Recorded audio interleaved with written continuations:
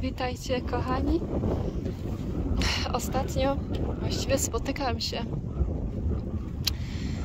e, z taką e, większości opinią od innych, że jak słyszą mój głos, to jest taki ładny i mam tyle dobrych opinii, jeżeli chodzi o mój głos. No właściwie nie wiem, bo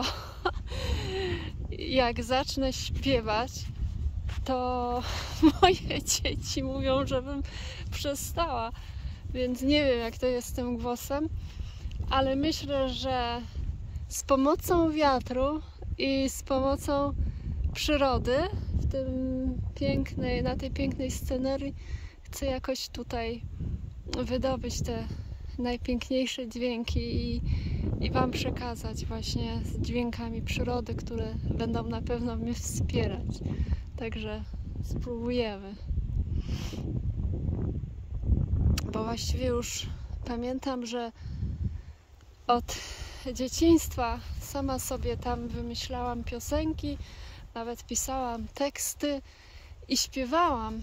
Pamiętam, ze skakanki miałam mikrofon albo z jakiegoś dezodorantu i robiłam sobie koncerty i właściwie tworzyłam swoją muzykę swoje piosenki, nawet w tych różnych językach sobie tak po swojemu śpiewałam też i zawsze chciałam, żeby te dźwięki, te piosenki zapisać, ale nie, nie miałam takiej możliwości i szkoda, bo naprawdę pamiętam, że tworzyłam naprawdę taką wspaniałą, można powiedzieć, muzykę. No ale cóż, chyba widocznie tak miało być. Jakieś było fajne doświadczenie wtedy jako dziecko, że sobie śpiewałam. Byłam bardzo takim kreatywnym dzieckiem, e, która, które potrafiło się zająć sobą, bo większość czasu spędzałam sama, lubiłam sama spędzać i wymyślałam sobie różne zabawy takie kreatywne, muzyka, yy, malowanie i takie bawienie się też w klocki, wymyślanie historii, tworzenie własnych programów, audycji. Mm, tak, to właśnie to było moje dzieciństwo i oczywiście bycie w przyrodzie. Tam spędzałam najwięcej czasu. Tak więc spróbuję wydobyć jakieś ładne dźwięki dla Was.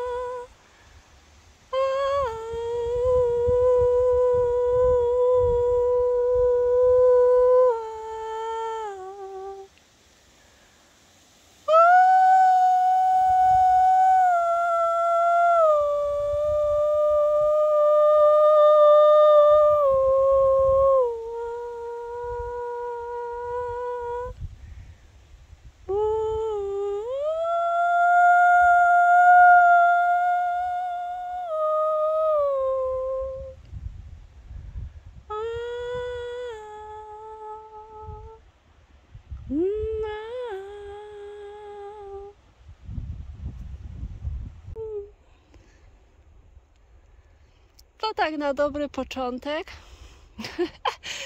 Widocznie, zobaczcie, zaczął padać deszcz.